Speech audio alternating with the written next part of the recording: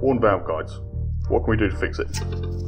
We could fit new ones, not always easy, as these ones are part of the head.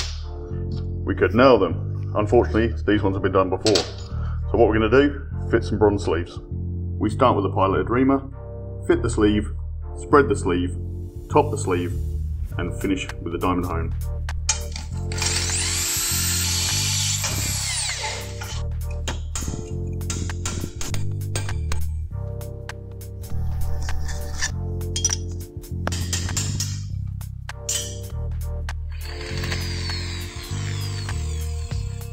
As this head's been ported, I'll finish off this end with a carbide burr and the flap wheel.